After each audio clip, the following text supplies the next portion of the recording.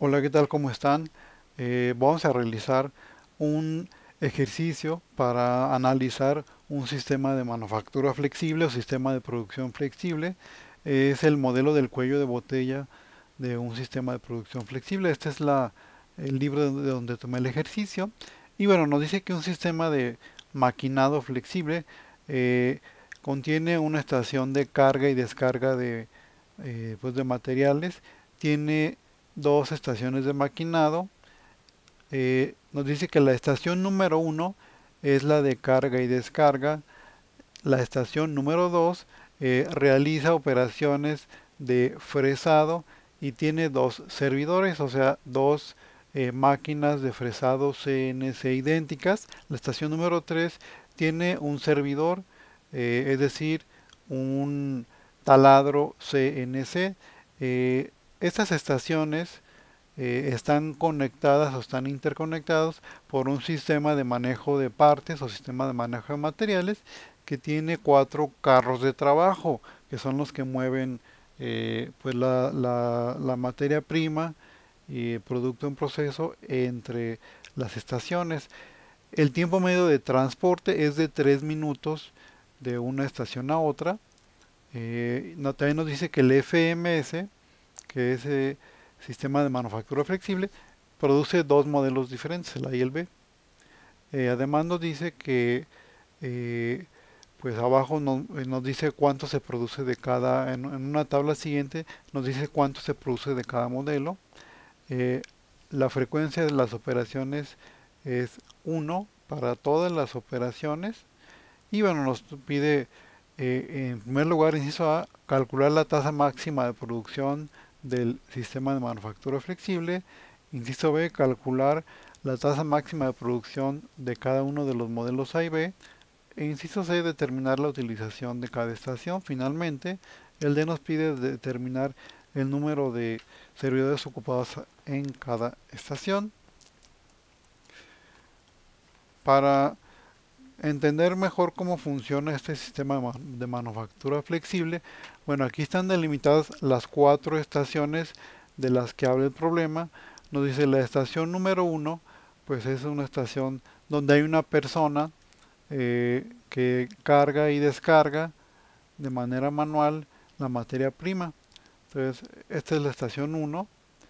Entonces, el operador toma materia prima y la coloca en un carro Recuerden que la estación número 4, también se le llama estación N más 1, es la que mueve la materia prima entre las estaciones 1, 2 y 3. Entonces, bueno, una vez que se coloca la materia prima, se va al fresado, al taladro y después regresa a la estación de carga y descarga. Una vez que regresa, el operador toma el producto terminado y bueno, va aquí a donde dice partes completas. ¿sí? Lo voy a regresar de nuevo para que lo vean. se coloca la materia prima, se va a la fresa, al taladro, regresa y se descarga. Eh, la estación número 2, bueno, tiene dos fresas, la estación 3 un taladro, bueno, eh, la estación 4 pues tiene una persona que carga y descarga. La estación 1, pero en la 4 pues tiene cuatro carros de trabajo o los work carriers. Eh, pues para calcular la tasa máxima de producción necesitamos esta información. Eh, este es el modelo A o la parte A y representa el 40% de todo lo que se produce. El modelo B es el complemento que sería el 60%. El modelo A pues tiene cuatro, cuatro operaciones o cuatro procesos que es carga, eh, fresado, taladro y descarga. Y esos son los tiempos eh, estándares o los tiempos eh, para producir cada una de las piezas o en este caso para cargar y descargar en, el, la parte B también tiene cuatro procesos pudieran tener más pudiera tener menos y bueno también tiene sus tiempos eh, de procesamiento ¿sí? aquí nos dice que para por ejemplo para cargar eh, una parte o una pieza se tarda cuatro minutos en la estación 2 se tarda 30 minutos en fresar, en la estación 3 10 minutos en taladro y la estación 1 eh, que es de carga y descarga, por estar en amarillo se tarda 2 minutos. ¿sí? Para el modelo B, bueno, en cargar se tarda 4 minutos, en colocar eh, la pieza en el carro de trabajo. Después cuando llega al fresado se tarda 40 minutos por pieza, en el taladro se tarda 15 por unidad y en descargar la pieza este, se tarda eh, 2 minutos. ¿no? Y bueno, adicionalmente es importante saber que bueno, esta, esta ecuación nos dice que pues la sumatoria de pues las fracciones de producción de cada producto, es decir, el part mix deben ser igual a 1. Este, por eso nos habla de que P índice J desde J igual a 1 hasta P, pues debe ser igual a 1. En este caso, pues P mayúscula es la cantidad de modelos, que en este caso nada más son 2. Subíndice I, pues nos habla de la estación, que ya vimos que son 4. El subíndice J, pues es el modelo, que nada más son 2. Y el subíndice K es la operación, que bueno, aquí cada modelo tiene cuatro, cuatro operaciones.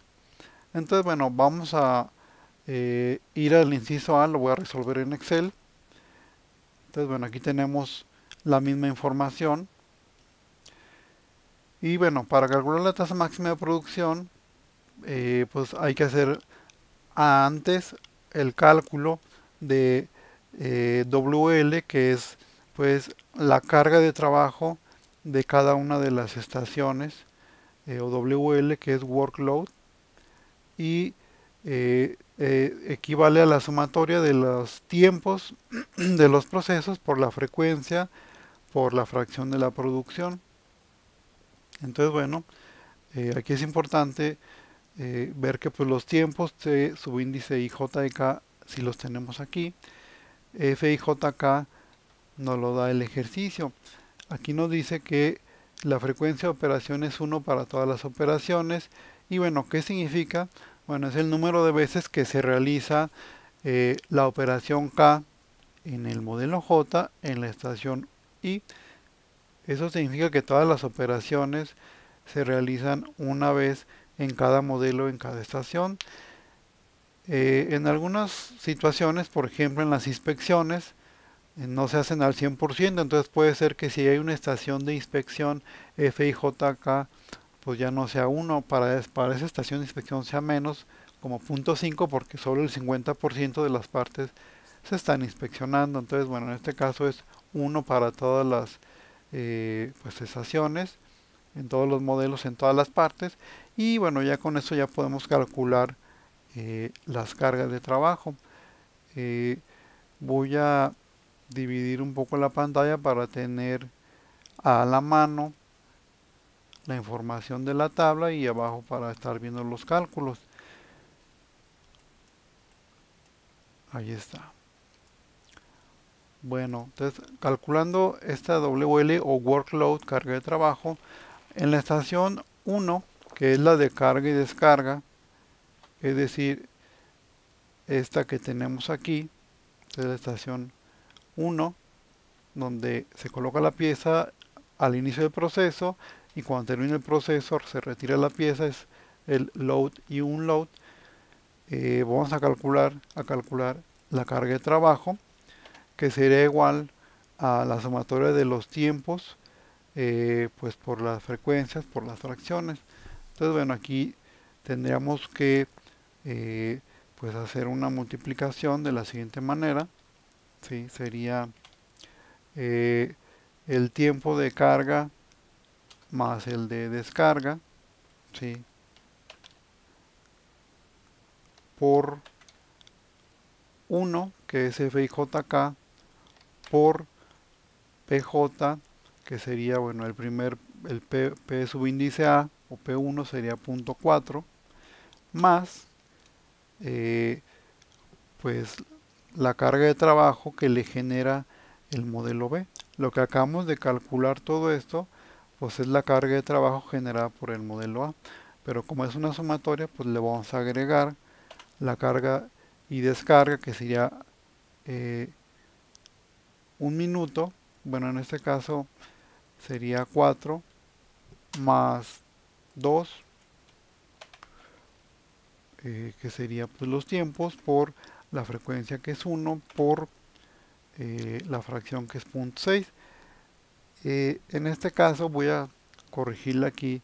Aquí, bueno, no es G22 más G25. Eh, es el tiempo que sería 4 y el otro tiempo sería 2. Bueno, ahí está ya corregido. ¿sí? Entonces, bueno, esta es la carga de trabajo de la estación de load y unload, que sería 6 minutos por unidad. Entonces, en promedio, eh, aunque en algunas partes se tarda 4, este, como en estas, bueno, en la carga se tarda 4 y en la descarga 2, bueno, el promedio por parte, pues son 6, ¿sí? 4 de la carga y 2 de la descarga. Ahora vamos a la estación número 2, que es de la de mailing o fresado. Eh, vamos a calcularlo de la siguiente forma. Eh, ponemos primero los tiempos de mailing, que sería 30, por la frecuencia, que sería 1, por la fracción, que sería 0.4, más el tiempo en el modelo E de mailing o de fresado, que sería 40, por eh, la frecuencia, que es 1, por eh, la fracción que es 0.6. Entonces nos da 36 minutos por unidad. Si se fijan, el modelo A eh, se, tarda en, en, fresar 30 y el modelo B se tarda 40. Pero bueno, el promedio de, que se le invierte por parte, independientemente del modelo, es 36 porque procesa dos modelos. Finalmente vamos a la estación de drilling o de drilling de fresado para ver qué carga de trabajo tiene vamos a hacer la sumatoria de tiempos eh, que sería pues nada más tiene un, eh, taladrado para el modelo A que sería 10 por la frecuencia que es 1 por la fracción que es 0.4 más el taladrado del modelo B que sería 15 minutos por la frecuencia de operación que sería un minuto por eh, la fracción que es 0.6 entonces nos da 13 minutos por unidad, aunque el modelo A el, en taladrar se lleve 10 y en el B pues se lleve 15, en promedio se tarda 13 eh, por parte. Es un promedio de tiempo dedicado a hacer el proceso de taladrado eh, por parte. Entonces, bueno, una vez que calculamos las cargas de trabajo, eh, tenemos que determinar pues cuál es el número de de transportes o de movimientos que pues, se realizan para, ambos modelos. Y bueno, la, pues, la forma manual pues, es ver el, diagrama y nosotros podemos ver el número de movimientos. Si se fijan, bueno, aparentemente hay tres, lo voy a repetir. Tienen 1, 2, 3. Ahí están. Sí, es el número de transportes. De la estación 1 a la 2 es un transporte. De la 2 a la 3 es el segundo transporte. De la 3 a la 1 es el tercer transporte. Entonces, pero bueno, pues, cuantitativamente, eso es visualmente, tenemos la siguiente fórmula donde el número de transportes es la sumatoria de la multiplicación de las proporciones en las que se produce cada producto por el número de transportes o de movimientos que requiere cada modelo, porque bueno, aquí no hay problema porque cada proceso tiene tres, cada, cada parte tiene tres procesos, pero si alguna tuviera siete y otra cinco, sería un poquito más complicado hacerlo visualmente. Entonces, si requerimos de esta fórmula, y bueno, sería, quedaría de la siguiente forma, si en, el, en el modelo A voy a eh, contarlo manualmente. Si el modelo A eh, sale eh, empieza con la carga, de aquí se va taladro, lleva un transporte, perdón, a la fresa, de la fresa al taladro llevan dos y del taladro se lleva la descarga, son tres transportes.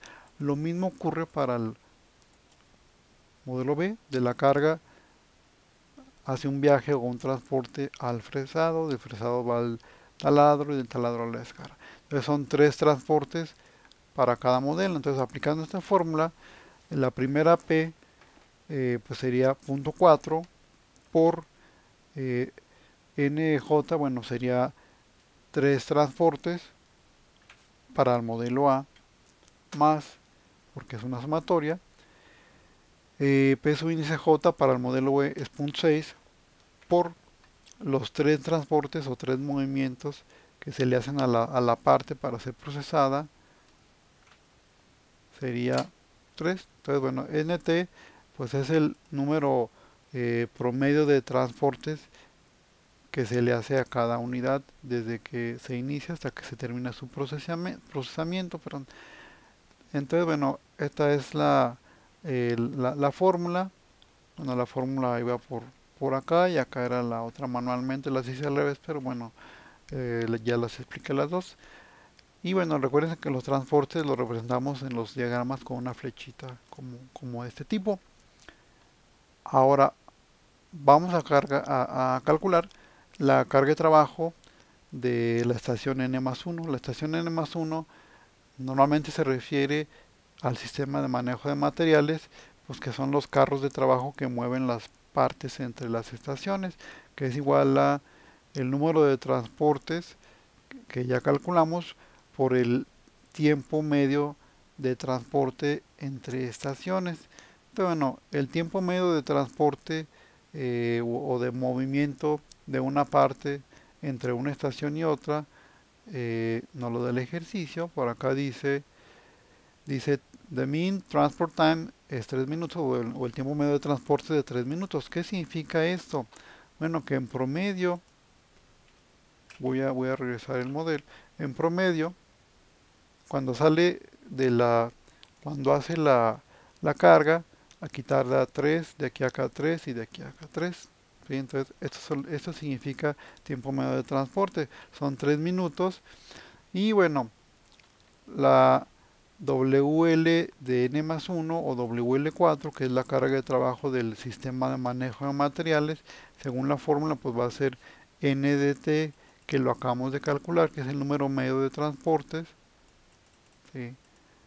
Puede ser cualquiera de los dos, es el mismo por el tiempo medio eh, pues que tarda en moverse una pieza entre una estación y otra entonces son 9 minutos por unidad pues porque se tarda 3 minutos por cada movimiento y son 3 movimientos pues hay una carga de 9 minutos y bueno aún seguimos en el inciso A que es lo que se busca es determinar el cuello de botella eh, pues para poder sacar una tasa más máxima de producción que es parte de lo que nos están preguntando en el inciso A. Ahora, eh, para identificar el cuello de botella necesitamos calcular estos cocientes o ratios, entonces dividir todas las cargas de trabajo, las cuatro que ya calculamos, entre el número de servidores o número de, máquinas que tiene cada estación. Si pues vemos la gráfica, la estación 1, que es la de carga y descarga, pues aquí dice, inclusive en el enunciado, pues menciona que eh, tenemos una persona. La estación 2, que es la de mail, tenemos dos servidores o dos fresas. La estación 3, que es la de taladro, drill, tenemos solo un taladro. Y finalmente la estación 4, que es del sistema de manejo de materiales, tenemos cuatro carros o cuatro work carriers. Entonces aquí ya podemos calcular eh, los cocientes, estos cuatro cocientes, porque ya calculamos todas las cargas de trabajo. Las voy a poner aquí de nuevo. El primer cociente va a ser igual a WL1 entre S índice 1, que sería 6 entre 1, me da 6 minutos. El segundo cociente sería WL su índice 2 entre S2 me da 18 minutos, tercer cociente sería 13, eh, que sería WL su índice 3 entre 1, porque hay nada más un servidor, y finalmente el cuarto cociente sería el un poquito más abajo, es el último que calculamos, es la carga de trabajo del sistema de manejo de materiales, que son 9 minutos entre 4 carros de trabajo. Entonces, bueno, aquí lo que nos está diciendo es que eh, pues en, promedio, cada 6 minutos, eh, pues se realiza el procesamiento de una unidad en cuanto a su carga y su descarga. Igual nos dice que el aunque el tiempo de fresado eh, pues sea largo, sea de 30 y de 40 minutos, como hay dos fresas, en promedio cada, cada 18 minutos se termina de fresar una parte, en promedio cada 13 minutos se termina de, de taladrar una parte y en promedio cada 2.25 minutos pues se mueve eh, se mueve una parte porque cuatro son, son cocientes y bueno aquí cuál sería la conclusión pues cómo identificamos cómo identificar el cuello de botella con el cociente ¿sí? aquí dice the largest W LI entre 6 es el cociente más largo que sería el de la estación de fresado entonces la conclusión sería la siguiente. Aquí diríamos que el cuello de botella que determina la capacidad de producción máxima del FMS se encuentra en la estación 2 por eso le puse aquí unos asteriscos. Y tienen la duración más largas que son 18 minutos por parte este, en promedio entonces bueno ya una vez que encontramos el cociente más largo que sería 18 minutos podemos calcular la tasa máxima de producción que es lo que nos pregunta por aquí el inciso A ¿sí? Eh, ¿Y cómo se calcula? Bueno, eh, la tasa máxima de producción es igual a ese asterisco, eh, que sería el número de servidores en la estación del cuello de botella entre WL, que es la carga de trabajo, pues en la estación del cuello de botella. Entonces vamos a calcular aquí, vamos a dividir S, que sería el número de servidores en la estación cuello de botella, que es la número 2, la de fresado, hay dos servidores entre la carga de, trabajo de la estación 2 que la calculamos por aquí, aquí arriba. WL2 es 36 entonces nos da eh, una tasa máxima de producción y aquí está lo que acabamos de calcular son 0.55 56 unidades por minuto para entenderlo un poquito mejor lo podemos convertir ahora multiplicando el resultado anterior por 60 entonces nos dice que lo más que puede producir este sistema de producción flexible con estos tiempos y estas rutas y estos modelos es de 3.33 unidades por hora. Eh, sin embargo, para eso, para, hay que saber eh, pues cuánto es lo más que se puede producir de cada modelo. Este es el promedio por hora de los dos modelos. Entonces, el inciso B nos pide determinar eh, la tasa de producción de cada modelo y bueno la fórmula la voy a poner este voy a poner aquí aquí voy a dejar la tasa máxima de producción para tenerla a la vista. Aquí está. Y aquí abajito vamos a calcular y nos dice que la tasa máxima de producción del modelo J que bueno sería tasa máxima del modelo A, va a ser igual a eh, P subíndice J, que es la fracción o pues el porcentaje que representa el modelo A de lo que se produce, que es 0.4 eh, por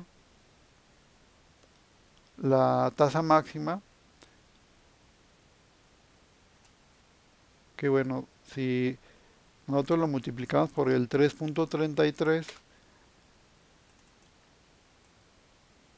bueno me falta multiplicar el punto 6 porque lo, borré por error lo voy a volver a poner el punto 4 aquí está.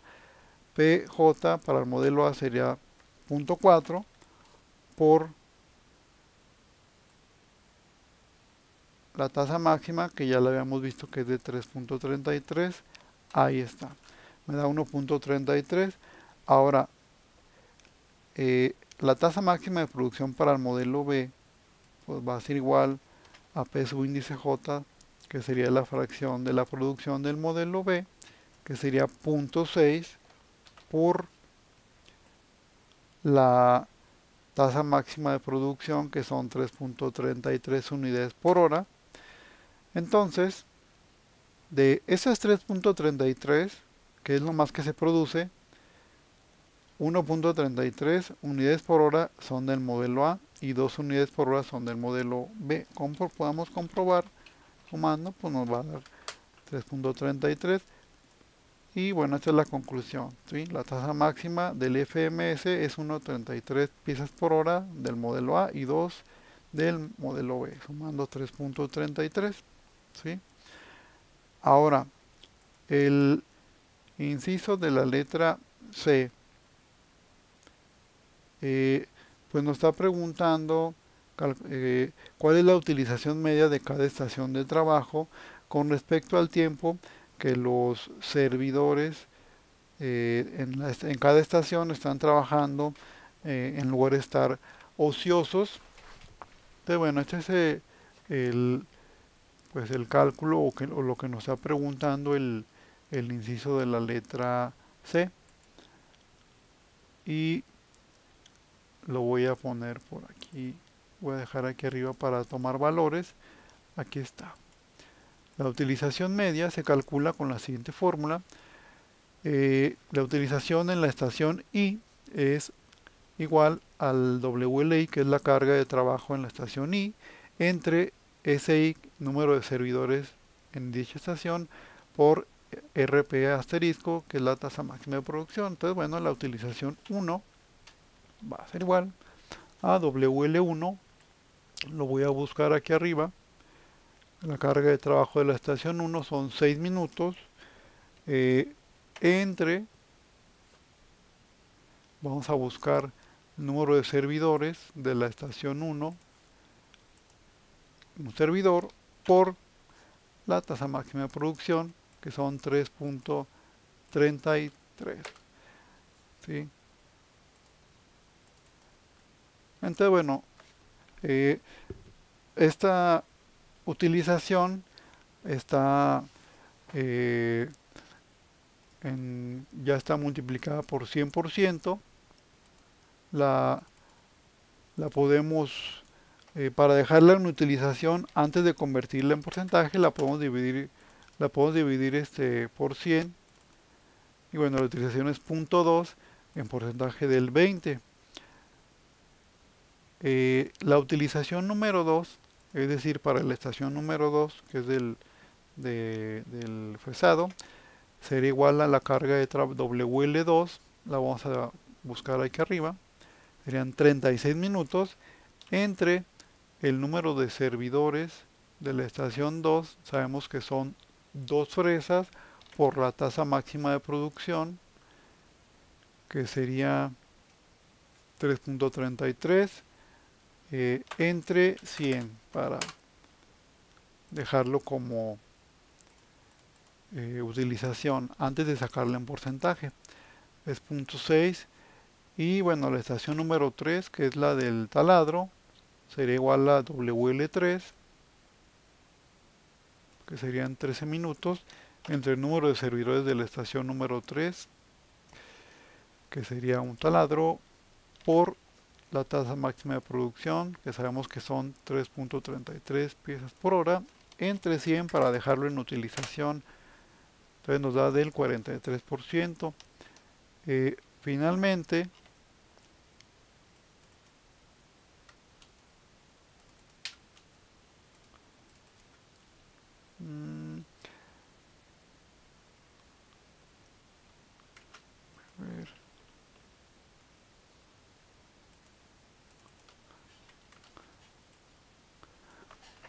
Bueno, voy a voy a corregir la utilización. Por ahí me parece ahí está ahí un error. Voy a voy a corregirlo. Voy a recalcularlo. Eh, la utilización número uno pues es la carga de trabajo de la estación número uno que son 6, ya vi dónde está el error, entre eh, el número de servidores de la estación 1,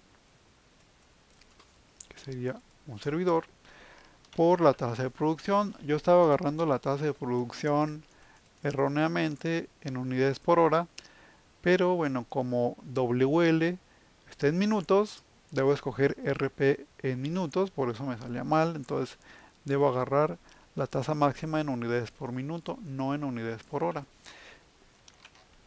Y lo divido entre 100. Bueno, ahora sí ya va a estar en porcentaje. Es punto 33, 33%. Ahora sí es correcto. La utilización número 2 sería WL2, que sería 36 minutos, entre número de servidores de la estación número 2, que serían dos fresas, por la tasa máxima en unidades por minuto, porque WL está en minutos, me da 1, es decir 100%, por eso es el cuello de botella. Utilización número 3 sería carga de trabajo número 3 entre número de servidores de la estación número 3, que serían 1, un taladro, por eh, tasa máxima de producción en unidades por minuto. Es 0.72 o 72% y finalmente la utilización 4, que es del sistema de manejo de materiales, requiere de WL4, que sería 9 minutos, entre número de servidores en la estación número 4, son 4 carros, por la tasa máxima de producción, que sería 0.0556. Y nos da 125. ¿Cómo se interpreta? Bueno, la utilización 1 la podemos interpretar de la siguiente forma. Diríamos que la estación de carga y descarga tiene un, eh, una utilización del 33% y bueno, un tiempo ocioso del 66%. Para la utilización número 2 diríamos que el cuello de botella, que es la estación de fresado que contiene dos fresas, como son tiempos muy largos de 30 y 40 minutos, pues están todo el tiempo trabajando, no tienen tiempo ocioso. Para la estación número 3, que es el taladro, diríamos que pues se utiliza el 70%, 72%, tiene tiempo ocioso como del 27.8% y finalmente el sistema de manejo de materiales pues tiene cuatro carros y bueno, tiene una utilización, este, pues tiene la utilización, vamos a ponerle por aquí abajo, más baja del 12.5 y el tiempo ocioso más largo del 87.5.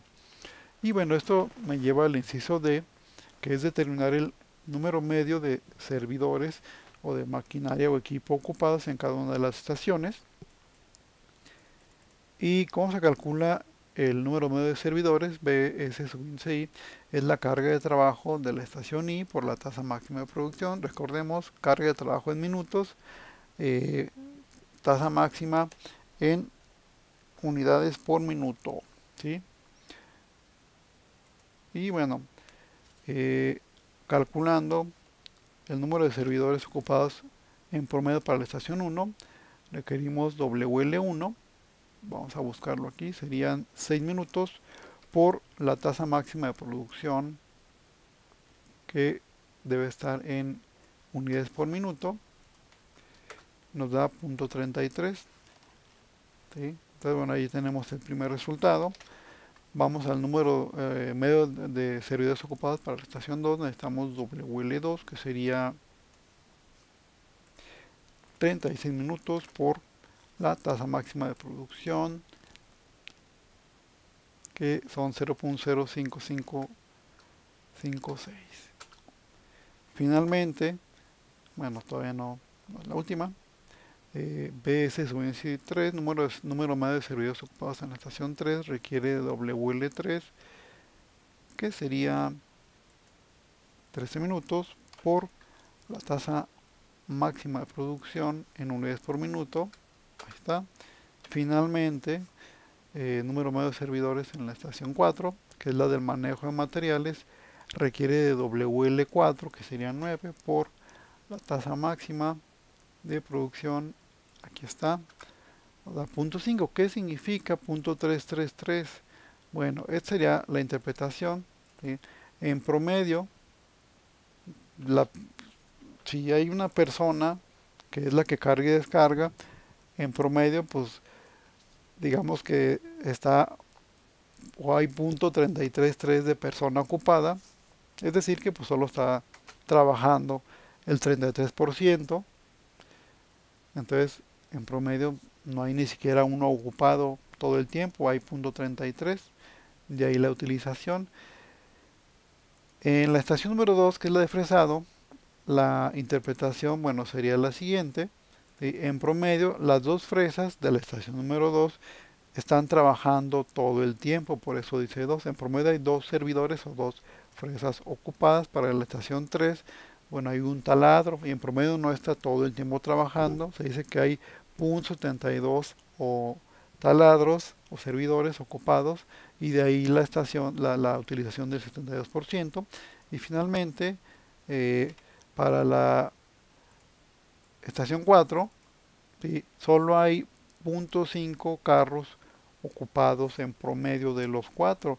Esto significa que podríamos eh, quizás solo tener uno porque solo está en promedio trabajando uno la mitad del tiempo. Por eso es punto 5 el número de servidores ocupados y bueno aquí terminaría aquí terminaríamos este ejercicio eh, aquí acabamos de responder todo lo que nos pide el inciso A que es tasa máxima de producción tasa máxima de producción de cada modelo, utilización en cada estación y número promedio de servidores ocupados en cada estación. Eh, como tarea o como práctica pueden resolver este otro ejercicio con las mismas fórmulas eh, y siguiendo el mismo procedimiento. Entonces bueno, hasta aquí voy a terminar eh, este, este ejercicio de el análisis cuantitativo del modelo del cuello de botella en un FMS. Eh, no olviden darle like a mis videos y suscribirse a mi canal. Muchas gracias.